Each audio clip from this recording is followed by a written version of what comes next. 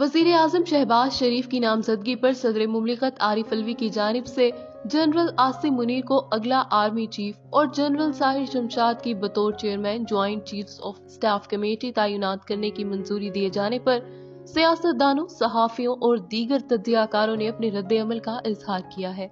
विफाकी वज़ीर खजाना इसहाक डार ने ट्वीट में कहा कि सीनियोरिटी और मेरिट की बुनियाद पर इंतखाब का वज़ीर आज़म शहबाज शरीफ का फैसला जनरल सैयद आसिम मुनीर को आर्मी चीफ और जनरल साहिर शमशाद को chairman joint chiefs of army staff committee तैनात करना काबिल तारीफ़ है।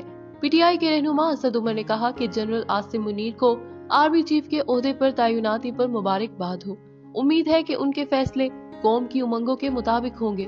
सेनेटर फैसल जावेद खान ने पार्टी चेयरमैन इमरान खान की तारीफ़ करते हुए कहा कि इमरान खान ने हमेशा मुल्क को यकजा किया एक रिवायती सियासतदान नहीं, बल्कि लीडर का किरदार अदा किया। उन्होंने कहा कि उम्मीद है कि मुल्क जल्द सियासी अदम इस्तेकाम खत्म करके मौशी इस्तेकाम की तरफ़ बढ़ेगा। अवाम को फैसले का इख्तियार दिया जाएगा। इस वक्त मुल्क के तमाम मसाइल का हल जल्द साफ़ व शफाफ इंतबात है। सबक वज़ीर दाखिला और अवामी मुस्लिम लीग के सरबरा शेख रशीद ने कहा कि आज 24 नवंबर से इमरान खान के फतह के दिन शुरू हैं। और मुल्क कबल अज वक्त इंतबात की तरफ़ जाएगा। उन्होंने कहा कि फौज का फैसला है कि वो सियासत से दूर रहेगी। नए तयनात होने वाले जिम्मेदारान को मुबारकबाद देता हूँ। पीटीआई चेयरमैन के सबक chief of staff Shahbaz Gill ने कहा, पिछले चंद महीने में सदर आरिफ अलवी साहब ने जिस स्टेट्समैनशिप का मुजाहरा किया, वो काबिल सताइश है। सदर आरिफ अलवी के किरदार को सराहते हुए उन्होंने कहा कि मुश्किल तरीन हालात में उन्होंने अपने अहदे और कप्तान के साथ अपने रिश्ते दोनों को कमाल खूबी के साथ निभाया।